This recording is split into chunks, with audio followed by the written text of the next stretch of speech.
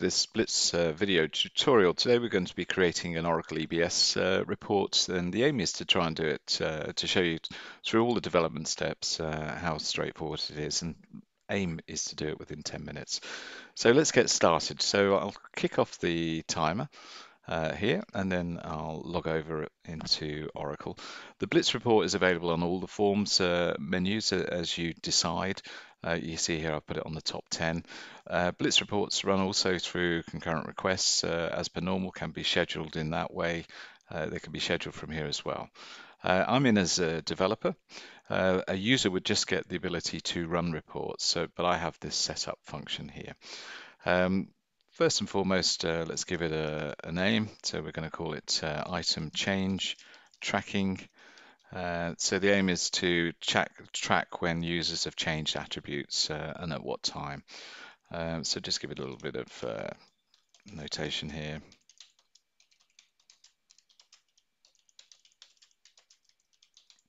Okay, um, you note over here um, version is still not assigned because we haven't written any uh, reports. So I'm just going to do some little report here. So select msib dot star from MTL system. Items B MSIB comma MTL parameters. MP uh, where? And then we need to join these tables so I'll just do that quickly. Organization ID equals uh, msib dot. Just need to pop uh, that one over there just to make sure. Mp dot and then just check we haven't got any typos. Uh, msib uh, dot star mtl parameters mp uh, and then we seem to have those typed correctly. Now uh, that's now saved. You, you get a version control here uh, so as you develop, uh, you can obviously uh, take this from environment to environment using uh, the basic the export uh, function, import export. You can also bring in reports from Discoverer or BI Publisher, etc., and fast track those developments as well. Um, so we'll just pop across the parameter. I'm going to add um, the warehouse, so that's the organization code. Uh, I'm going to pop that in there. I'm going to take away the default value because I'd li like to specify one myself. Um, and then here, I want to uh, add the item. So it's going to be the item and I'm particularly interested in an item number. Um, you see here we've got one here. Uh, so you can reuse uh, existing report parameters or you can create your own from scratch. Uh, you see uh, it's using list of values or it's using um, different uh, Oracle existed seeding seeded uh, list of values. Um, and then this last one we're going to do is the last update uh, date. Um, so I'm interested if there's been a change within uh, a period of time. So there's one here that again I can reuse, save reinventing the wheel. Last update within days, um, so where MSIB last update date is um, within system date minus uh, number of days in the parameters. See here I've got a hundred uh, as the parameter setting. So we're still in good time, six minutes 24 to go. Um, feeling the pressure. Uh, so let's save that and run it. So you can assign this. So we'll assign it um, at the user level and I'm going to, I've got a user called user, funnily enough. You could equally assign it to responsibility, you could assign it to application, etc. Um, you can also categorize, so we could uh, we could assign this to Enginatics. Uh, so if you want to search quickly for a category uh, as a user, you can just categorize all your reports, finance or order management, etc. So um, we had our very simple query here. Uh, parameters are assigned and the assignments are assigned um, and we've categorized it. Version control is done. Uh, we'll go ahead and run it to see if there's any errors. This should now send it directly through the concurrent manager. Um, so this will then get uh, go from once you click kick off run, it will go to pending uh, and then it will launch the Excel, which is fully formatted. Uh, all the data types are recognized, which is important. You see here we've got the item over here, so we probably want to move that over here. We probably wouldn't want those uh, ID columns in there. So there's a little bit of work to do. So I'm just going to uh, go back to the report. So one of the things you can do is you've got options here. So you can um, create a template. I'm going to create a new template. Uh, and you simply uh, send the columns you don't want by double clicking or you can use these arrow keys.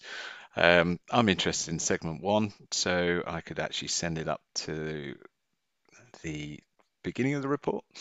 Um, we could hide these ones in a group, so you know you probably don't want to have all those other attributes that Oracle give you for flexibility. These are the flex fields, so if you've configured flex field, which most people do on inventory items, you could um, you could leave them on the report, obviously, and then you could just uh, look for other columns you don't want to have. Um, but I'm not going to do that. That's a complete, um, I say there's a, more or less the complete set of columns here because we did a select star. You could have built that up in the SQL, um, but this is obviously a rapid form of development anyway. And then we're going to give this um, a name, item track changes, and we'll assign that to users. So just so they're aware, um, they can also create their own template. That's that's all they can do. Obviously, they can't access the SQL.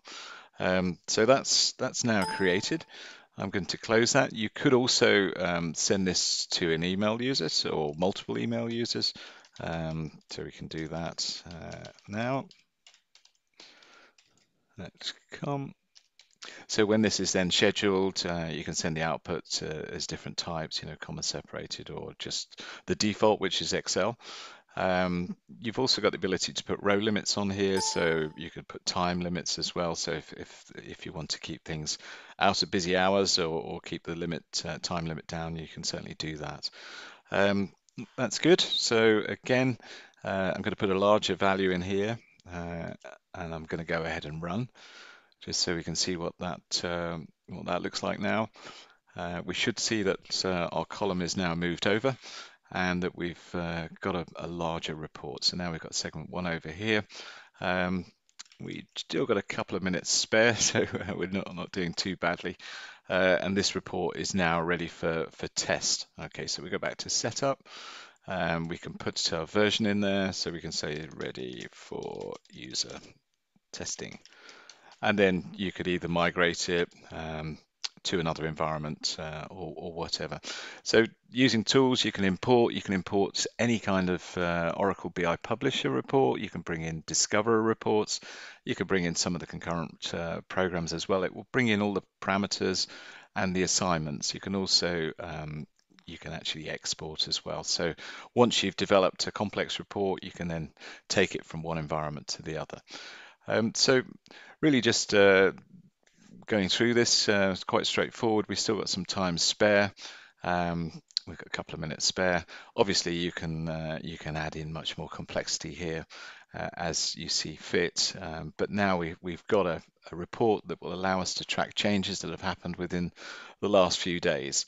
Um, and that was very simple to achieve. Uh, we put in some default parameters as well. Um, and obviously you could build up the parameters from existing values. This is now um, assigned to the user, user um, being this level.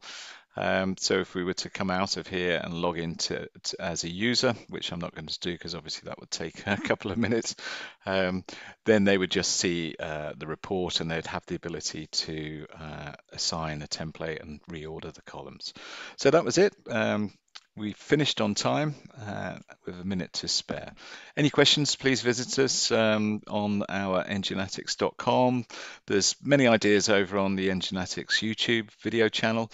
There's also blogs and uh, good ideas uh, about database tuning, uh, concurrent requests monitoring, and so on um, that you can uh, have a look at. Okay, thank you for now.